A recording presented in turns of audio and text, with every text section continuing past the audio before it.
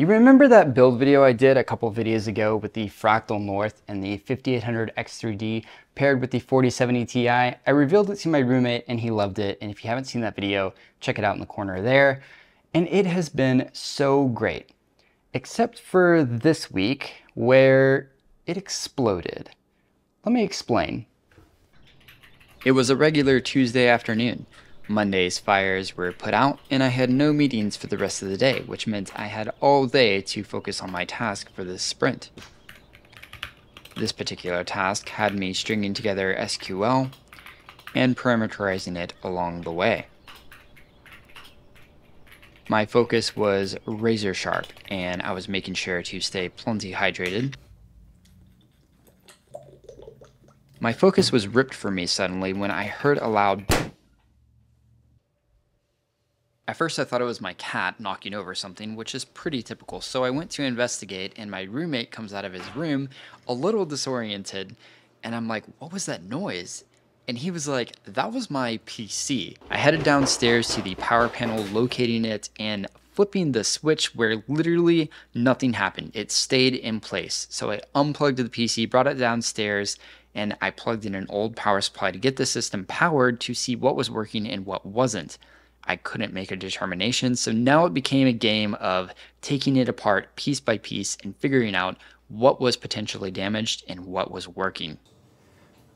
This Corsair controller is very stuck on here for some reason, but I think this has a problem. What wasn't a problem was telling you that this video is not sponsored and I funded it with my own money. So if you'd like to show your support, I'd appreciate a like and subscribe if you would like to do so. Despite this sounding like an audio clip that was ripped directly from The Grudge, the main goal here was to take off the AIO and replace it with an air cooler that I knew was reliable with the purpose of testing the critical components on the actual motherboard, like the motherboard itself, the CPU and the RAM, as well as the SSD. I just wanted to make sure that those critical components were in working order. So I just kind of left the AIO in there to hang while I tested those. I'm using my trusty Thermaltake that I've had for about 10 years now to once again use in this system for testing these components. I'm also throwing in this RTX 2080 because I don't want to put in the 4070 Ti just yet in case it's damaged itself, but I also need to be able to test the graphics since the 5800 X3D doesn't have onboard graphics. It was now time to test the critical components, and luckily the system did post, meaning that the issues were isolated to the power supply or worse, the graphics card. At this point, I was just doing a physical examination of the power supply to see if there was any damage. One thing to note, never open the power supply because it can literally kill you. I opened up my laptop and went to Thermaltake's RMA website where I then clicked the support page, accepted the terms and conditions, and filled out the RMA service form. I then got the busted power supply packaged up for shipping, and because the system isn't mine, I went ahead and got another power supply.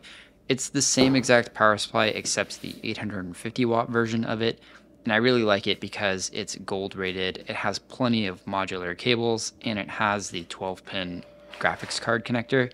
It also has a 10 year warranty, which is great for situations just like this where the power supply failed. I just tidied up the cables here, and then the big test will it post with the 4070 Ti? And it does, meaning the graphics card was unharmed. Despite this power supply failing after only two years of use, I really do think this is a well-constructed power supply. Power supply failures are rough on systems, and oftentimes the surge in voltage will spread to other components, frying them completely, which can obviously be very expensive. That did not happen in this case, and I have no doubt it's because of the safety systems built into this power supply. I hope you never have to experience something like this for yourself, but if you do, I hope that this video serves in some way as a way to diagnose the issue. Thank you so much for watching. Leave a like if you liked the video. Subscribe if you want to see more. That's all I have for you today, and I'll see you in the next one.